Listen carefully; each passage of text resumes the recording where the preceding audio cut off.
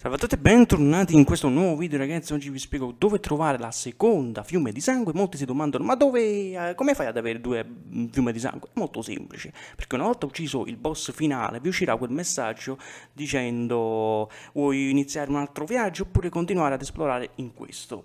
Quindi quello che devi fare è, una volta finito, andare alla tavola rotonda, avvicinarti alla tavola rotonda e poi eh, se vuoi iniziare un altro viaggio lo inizi. Ecco, adesso che mi riposo e vi faccio vedere come fare. Ecco, a me in basso c'è scritto inizia il viaggio numero 3. Basta. Se ne parla tra un paio di mesi.